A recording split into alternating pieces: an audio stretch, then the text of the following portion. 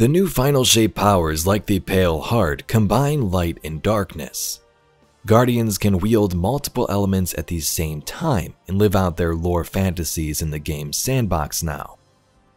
Today we discuss the story of Prismatic. It's always been around, others have used it before, and it's been hinted at since the Taken King.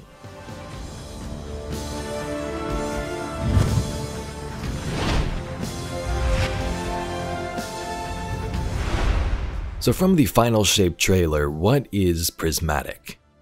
Prismatic is a new subclass in power that allows Guardians to wield light and dark at the same time. Certain aspects, fragments, and abilities can be customized.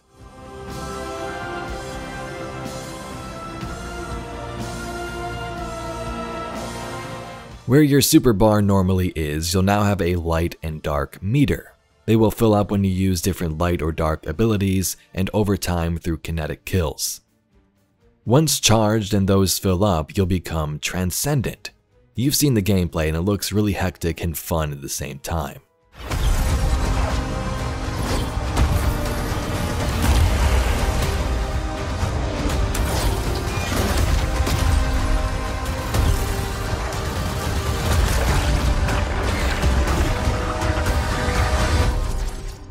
The definition of prismatic relating to or having the form of a prism or prisms, of an instrument incorporating a prism or prisms, and of colors formed, separated, or distributed by an optical prism or something acting as one.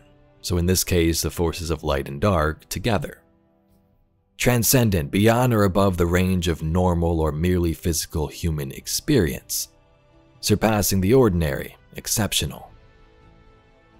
Prismatic is new, but we've seen stuff like this before, multiple times. As I've talked about in recent videos, Osiris in Veil Audio spoke about how the Traveler in Veil might have been whole at one point, and also that powers of light and dark might have been one, which we've come to wield. Two halves of a whole, long divided. A schism between them.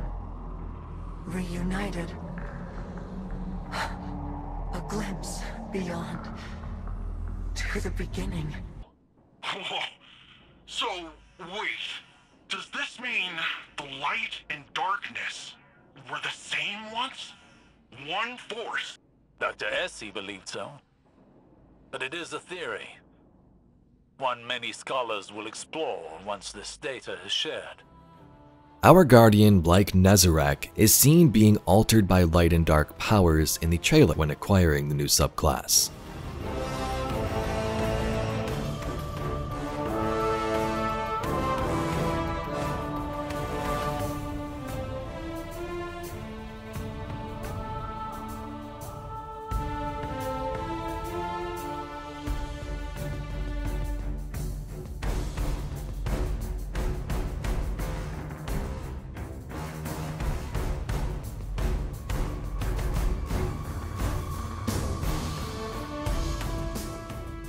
In Lightfall, the Traveler unleashed a beam of terraforming light that came into contact with the pyramid ship of the Witness.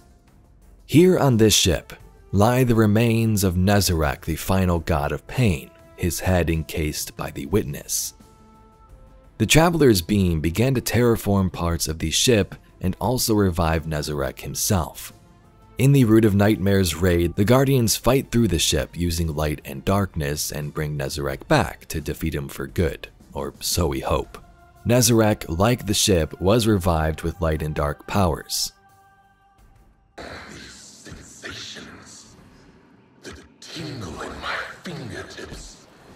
This power is familiar yet different.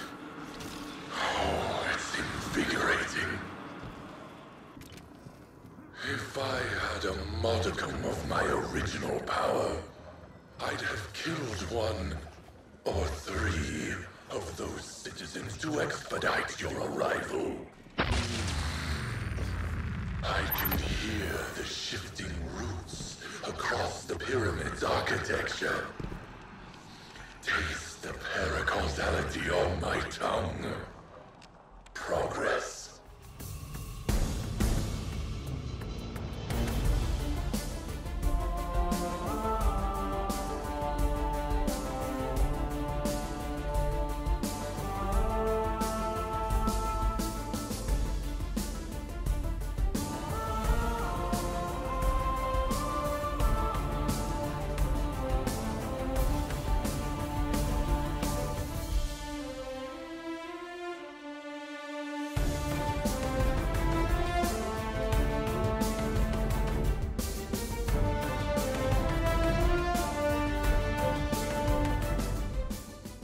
Searching Prismatic on Ishtar Collective brings up some interesting results. There was the Prismatic Recaster used many years ago in seasons to focus engrams. There's certain currencies and focusing engrams also connected with the word, which was likely nothing.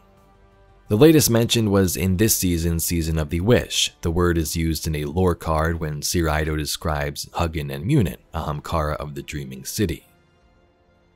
The Wish Dragons took to the air one final time, soaring nimbly between the pillars on wings of prismatic light. Sir watched their pale, sinuous reflections sweep across the surface of the geodes. Prismatic light is an interesting phrase. But this gets even more interesting when we look as far back as the Taken King. Throughout Ishtar, there are many quotes from something called the Parables of the Allspring. Quotes from Brother Vance of all characters and the Aeon cult and the journeys they've had across the system and Mercury. You'll find this, the Prismatic Heart, a hunter artifact released in the Taken King, which looks very similar to some of the prismatic colors we see with the subclass and the Pale Heart portal.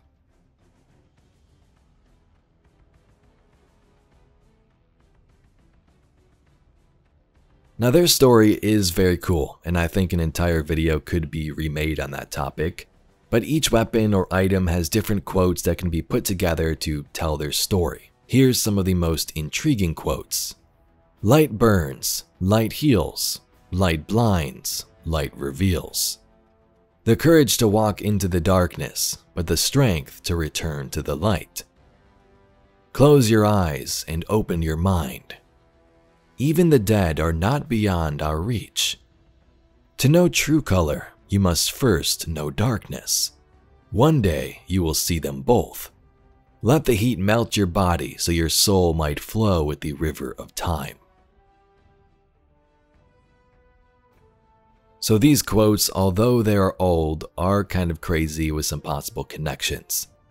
Did Bungie have this planned all the way back in The Taken King and through various expansions since? Maybe, maybe not, but even the dead are not beyond our reach instantly reminded me of Cayde.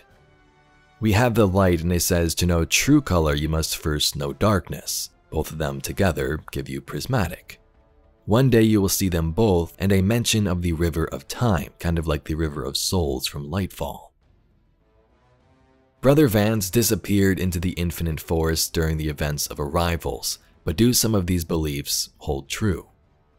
And this one's really out there, but during the 2013 Destiny reveal at E3, a Warlock uses solar grenades and Nova Bomb. This is much different and likely was just there to show off gameplay, they didn't have things nailed down yet, but it's kinda cool to take a look back at. More falling below! I see him.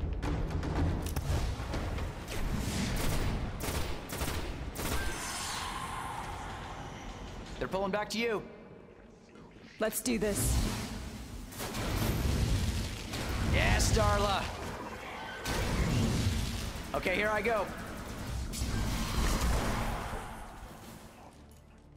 Anyway, Guardians, that's all we got for today's video. Some connections between Prismatic and the past of Destiny. If you know any other lore examples like this, be sure to let us know in the comments. And if you'd like to see some more videos just like it, please be sure to subscribe. I thank you very much for watching and I'll catch you all in the next video.